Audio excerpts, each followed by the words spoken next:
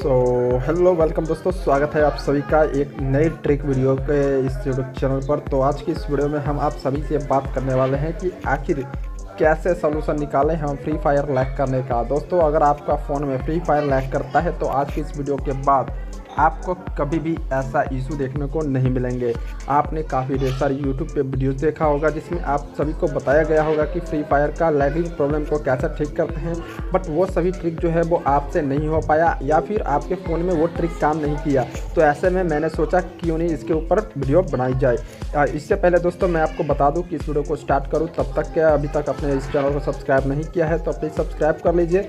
और इस वीडियो को लाइक करना मत भूलिए। देखिए, इससे पहले मैं एक यूट्यूब चैनल पे वीडियो डाला था जिसमें आप सभी को बताया था कि पिंक प्रॉब्लम को कैसे सॉल्व करना है फ्री फायर के अंदर में। तो वहाँ पे हमें काफ़ी अच्छे रिस्पांस देखने को मिला उस वीडियोज़ में। मगर दोस्तों, उस वीडियोज़ में कुछ ऐसे भी हमें कमेंट्स देखने को मिला जिसमें हमसे पूछा गया कि भाई कोई ऐसा ट्रिक बताओ कि हमारा फ़ोन में फ्री फायर लैग ना करे।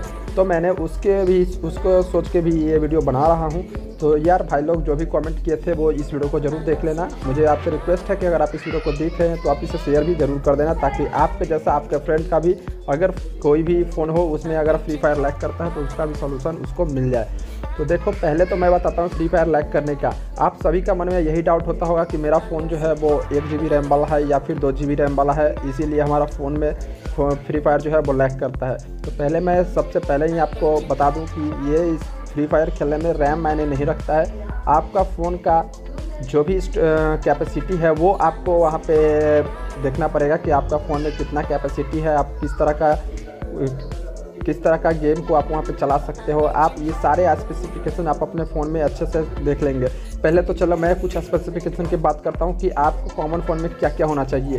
ठीक है दोस्तों मिनिमम होना चाहिए आपके फ़ोन में आठ जी स्टोरेज इंटरनल स्टोरेज आपका आठ जी होना चाहिए और रैम की बात की जाए तो मिनिमम एक जीबी होना ही चाहिए।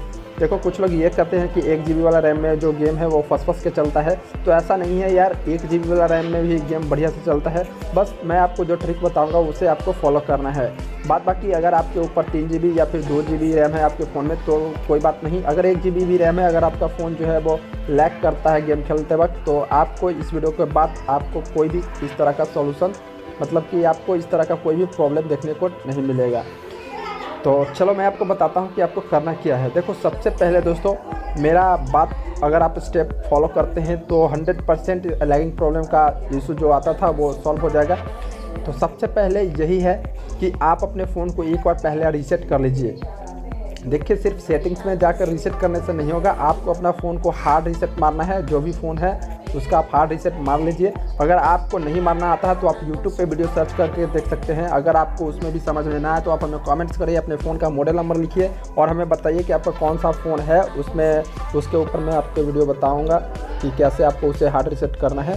तो अगर आप हार्ड रीसेट कर लेते हैं, उसके बाद दोस्तों आपको फ्री फायर को इंस्टॉल करना पड़ेगा और उसके बाद आपको एक एप्लीकेशन और इंस्टॉल करना पड़ेगा, जो है क्लीनर जी दोस्तों सीसी क्लीनर ये तो कंप्यूटर का एप्लीकेशन है बट दोस्तों, यहाँ पे हमें एक एंड्रॉयड का भी मिल रहा है। तो सीसी क्लीनर आपको डाउनलोड कर लेना पड़ेगा अपने गेमिंग सॉरी अपने प्ले स्टोर से। तो जब आप वहाँ से डाउनलोड कर लोगे तो आपको फ्री फायर को स्टार्ट करना है। तो स्टार्ट करने के बाद दोस्तों, आपको वहाँ पे सेटिंग्स में जाके ग्राफिक्स को स्मूथ कर देना है। जब आप ग्राफिक्स को स्मूथ कर दोगे, उसके बाद आप जब फ्री फायर को खेलोगे तो होगा क्या कि आपका फ्री फायर जो है, वो लैग नहीं करेगा वहाँ पर, बिल्कुल स्मूथ चलेगा आपके फ़ोन में। अगर इतना करने के बाद भी अगर फ्री फायर आपका लैगिंग कर रहा है तो मैं आपको बताता हूँ कि इसके बाद आपको क्या करना पड़ेगा।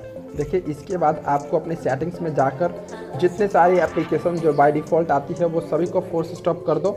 और फोर्स स्टॉप करने के बाद दोस्तों, फिर से आप गेम को प्ले करो। वहाँ पे आपको कोई भी इशू देखने को नहीं मिलेगा। फिर आपका गेम जो है, वो काफ़ी स्मूथ चलेगा, कोई भी लैग नहीं करेगा।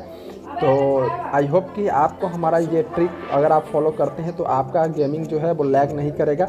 आपने काफ़ी ढेर सारे यूट्यूब पे फेक वीडियोस देखा होगा बट उसका सॉल्यूशन आपके फ़ोन में वर्क नहीं करता है बट मेरे बताए हुए हर सॉल्यूशन दोस्तों, आपको 100 परसेंट फ़ोन में वर्क करेगा।